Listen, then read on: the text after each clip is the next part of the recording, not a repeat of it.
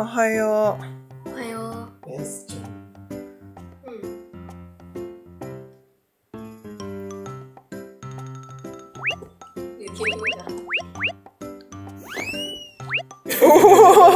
うん。でもちゃんとこっちをね、うん、ブレーキする。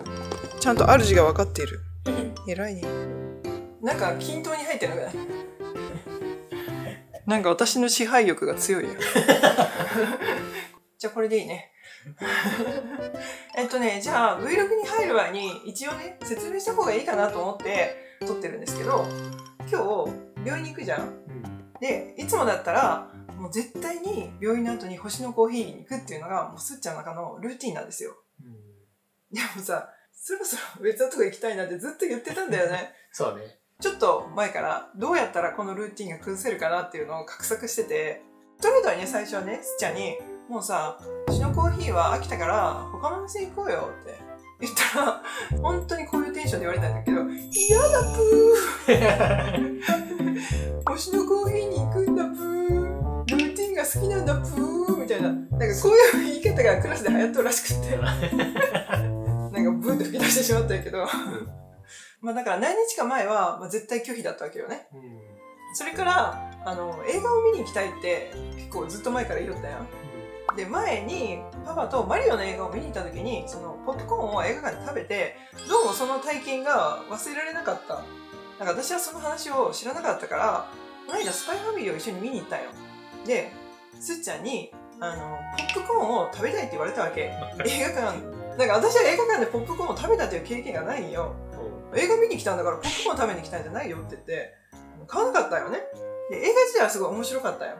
で、楽しんだんだけど、なんかすっちゃんはずっと、ポップコーンが食べたかったのにっていうのを、ずっとなんかモヤモヤしとったみたいだよね。映画館でポップコーンが食べたいっていうのを、まあ何日か前からまた言い始めて、で、今度じゃあ病院の後に行こうかっていう話をしたよね。病院の後に行くんだったら星のコーヒーには行けないよって、そのまま直接イオンに行かないと、あの、映画の時間に間に合わないよって言ったら、分かったって。おお、あっさりとルーティンが崩れて、でも朝ちょっと星のコーヒーに行きたいなみたいな話も言ってたけど、まあでもそれよりも、そのルーティンのこだわりよりも、その映画館でポップコーンを食べるっていう、そっちの方のあの楽しみの方が勝ったみたい。だから結局ルーティン崩そうと思ったら、それ以上の楽しみを与えたらいいのかもしれないね。じゃあ次からさ、うん。病院の後は映画館行ってポップコーン食べるっていうのはルーティンなんじゃない いや、そ、ちょっとそ、そっちはさ、ちょっとさ、大金がいるからさ、あで、今日一緒にはちょっと私映画に行けないんだけど、俺らはね、うん。あの、イオンで大事な、大事な用事があります。言っていいと言っていいっていうか、この動画の最後にはバレるんだけど、もういい、恥ずかしいから、あの、多分動画の最後まで見てる人は、私のこと好きで見てくれると思うから、この辺で離脱する人はそうでもない人もいるから、もう言わんとく。あ、そう。最後に言う。最後に重大発表。大丈夫かな、これ。結構長いな。長いな、思ったより。もう、もう、もう、はいはい、ママ行きます。時間から2分過ぎております。はい、行きます。はい、着きました。うん。なんかなかった。よし、では行きます。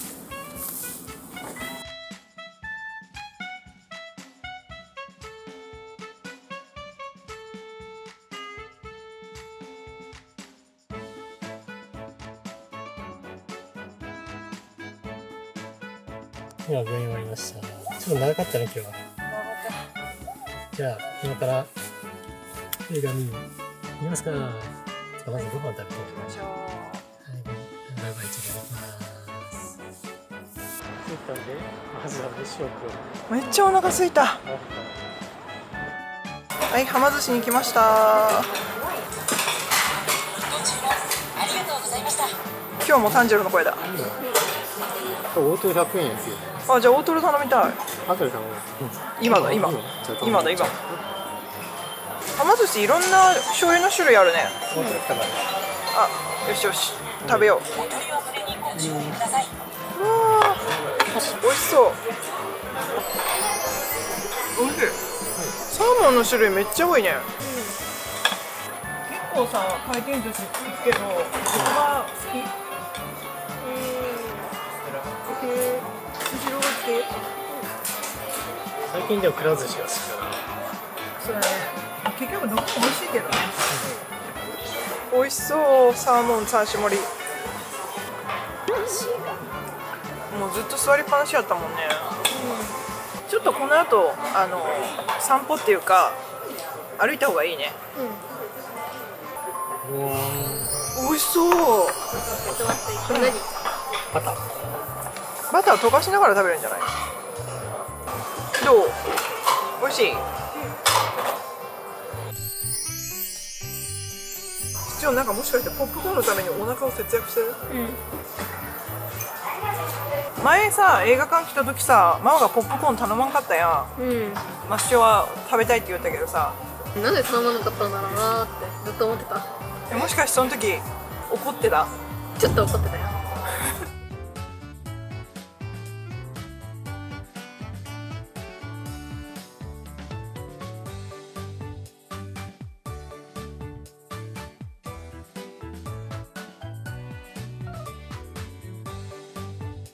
ポップコーン買ってあげないとな映画館で。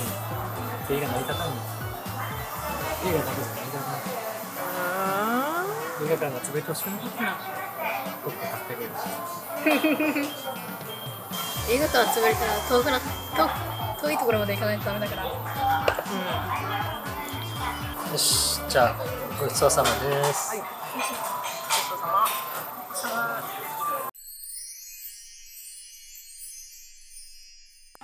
すーちゃんとパパは映画館に行きました。で私はあのとあるものの受け取りがあるので別行動してるんですけど今ねあのそれを受け取るためにそちらのお店に来てで許可をいいてでカメラを回してます。実は私あのビッグを作ったんですね、ま、その理由なんですけど皆さんお気づきかと思うんですけどちょっと私ね頭頂部が何年も前から薄くなってきてるんですね。頭頂部にパウダーかけたりとか黒いパウダーかけたりとかいろいろとね対策はしてたんですけどやっぱりねあのなかなかボリュームが年々少なくなってきてて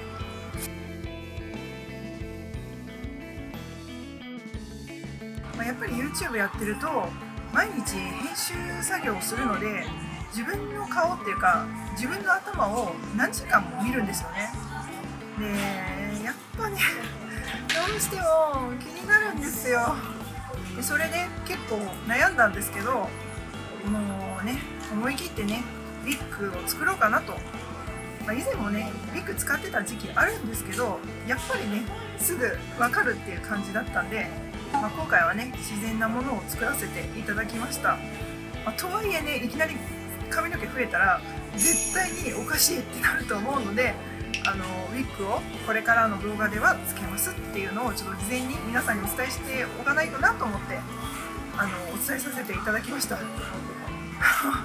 もうすごいね反応が怖いんですけどこういうのもねまあ堂々と発信できる世の中になったらいいなと思うのででも本当私は楽しみにしてるので皆さんもねどうなるのかっていうのを楽しみに見てもらえると嬉しいです。はい。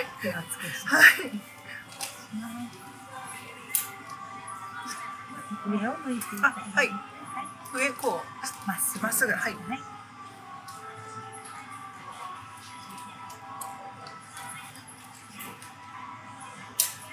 大丈夫ですはいはい。またあのスペシャル先生にちょっと調整を今からはいして。じゃあ今からちょっとやっていただいてきます。じ先生。をはいこのまま自然な感じで。大丈夫ですか？あもしおあのお顔映っちゃったらぼかしかけた方がいいですか？全然構いません。もうこういうのあの僕も発信してるんであのあれであの会社でああのカットカットビデオを撮ってるんで。かったです、はい全然大丈夫です。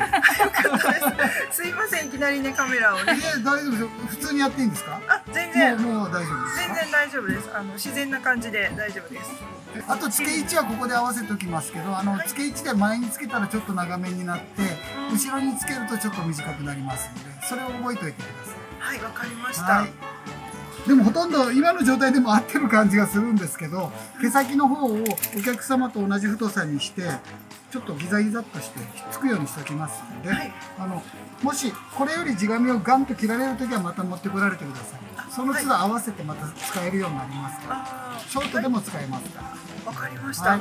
い、分け目はここで自然で真ん中でいいですか、はい。お願いします。了解しました緊張するね。緊張しました。私も。最最初カミカミになってたいやいや全然大丈夫だと思いますさすがありがとうございます。楽しみですね。でこれが私の髪になる予定ですすごいちゃんと私に合わせて切ってくれてます。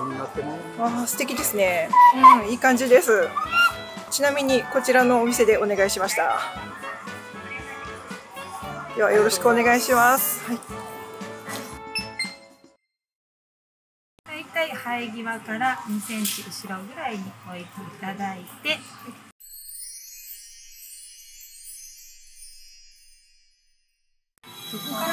からがウィッグで、どこからが地紙かが。うん、わかんないですねわからない。本当に、う。ん、全然わかんないです。はい。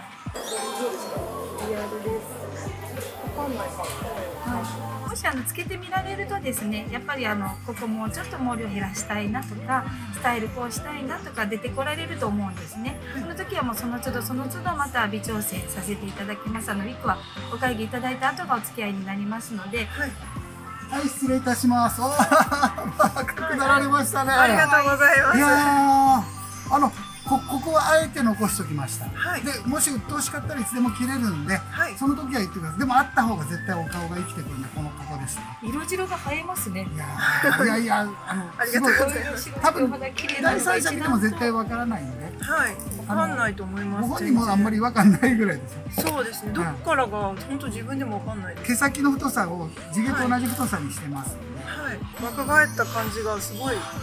一瞬でなりますからね。そうですね。もともと若いのにそうそうそうそ若いからどうしましょうって感じですね、こ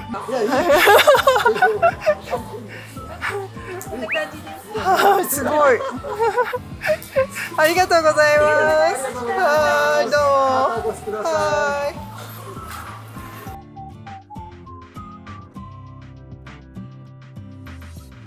はい、じゃあすっちゃんたち出てきました。あ、あミュージカルだけあって歌が良かった本当よかったね。あのワワへの感想は？ここか？よく見える どう？どう？いいんじゃじゃあない違和感がある違和感ある？いきなり変わった感ある？うんまあそうね。それでは皆さんバイバーイ。また見てねあっちは登場してないうん。